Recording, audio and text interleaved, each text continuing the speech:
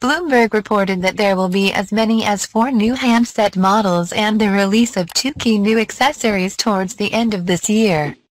Two of the new higher-end phones will succeed the iPhone 11 Pro and iPhone 11 Pro Max,